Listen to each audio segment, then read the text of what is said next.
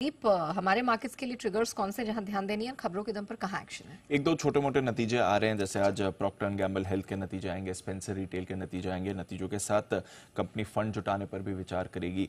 AGM है कोल India की और रेलटेल की, इन दोनों पर भी रखेंगे नज़र। टीटी के प्रेस्टीज आज से इसका बायबैक खुल रहा है टेंडर ऑफ़र के ज़रिए बायबैक हो रहा है, बारह रुपए प्रति शेयर का बायबैक होगा। इंडस टावर का बायबैक आज बंद हो रहा है, ये भी ध्यान रखेगा। डिविडेंड एडजस्टमेंट एचएएल में होगा, तेरह के डिविडेंड का एडजस्टमेंट आपको दिखने वाला है और रिकॉर्ड डेट है सिम्फनी के बायबैक की।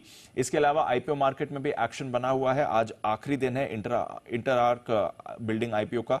कुल पौने 11 गुना इशू ऑलरेडी भर चुका है, जिसमें रिटेल सब्सक्रिप्शन सवा सात गुना का है। साथ ही ओरियन टेक्नोलॉजीज़ इसका आईपीओ आज से 23 अगस्त तक खुला रहेगा। प्राइस बैंड एक से दो सौ छह रुपए प्रति शेयर है।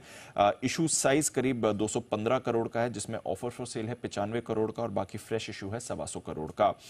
एंकर इन्वेस्टर्स के ज़रिए करीब चौसठ करोड़ कंपनी ने जुटाए हैं, जिसमें Pine Oak Saint Global SB Opportunities Elara Capital और राजस्थान ग्लोबल सिक्योरिटी जैसे नाम शामिल हैं। हैं दो बड़ी ब्लॉक डील्स होने वाली हैं। पीएनबी हाउसिंग इसमें आज ब्लॉक डील होगी एक करोड़ की। जनरल अटलांटिक सिंगापुर, अपनी पूरी 5.1 परसेंट हिस्सेदारी बेच सकता है। फ्लोर प्राइस इसका रखा है सात पर, जो कल के क्लोजिंग से देखे तो करीब साढ़े चार परसेंट के डिस्काउंट पर है। साथ ही साइंट डीएलएम इसमें आज ब्लॉक डील हो सकती है। प्रोमोटर साइंट ब्लॉक डील के ज़रिए साढ़े चौदह परसेंट हिस्सा बेच सकते हैं। 860 करोड़ की ये ब्लॉक डील होने वाली है। फ्लोर प्राइस इसका 748.65 रखा है। कल की क्लोजिंग से देखेंगे तो पाँच परसेंट के डिस्काउंट पर है।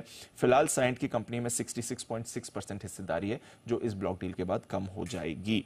जीनस पार एंड इंफ्रा यहाँ पर रखेंगे नज़र। कंपनी को कल कुल तीन 1608 करोड़ रुपए के तीन ऑर्डर्स मिले हैं। 42 लाख स्मार्ट प्रीपेड मीटर के सप्लाई के ऑर्डर्स रहेंगे।